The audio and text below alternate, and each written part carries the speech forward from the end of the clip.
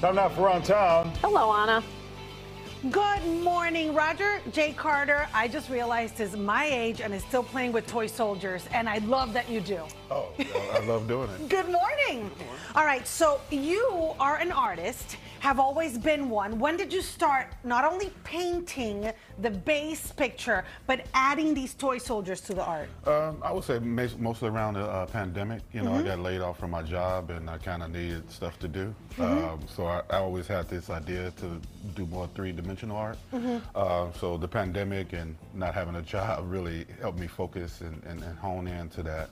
Um, so that's really where it kind of came about, where I was able to focus on this particular style. Is there a storyline to what you're putting on top of the painting? Or, like, I, I know that earlier with Iverson, you told me this is Spider Man. Right. Uh, so, with this one, for example, which I know it's a takeoff on Banksy, Yes. Do you decide, is there a storyline to how you've placed them, or how does it work?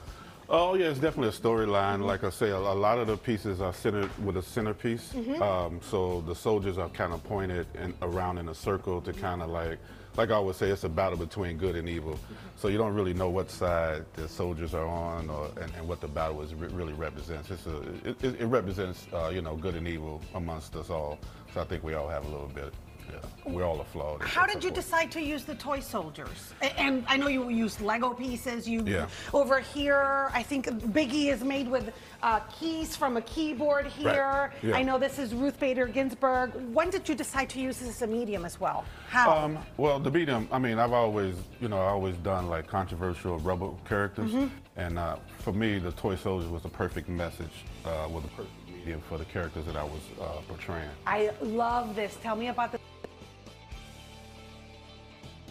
Now, there's the information on your screen. We'll check back in with Ana in the next hour. Stay with us. 9 at 9 is next.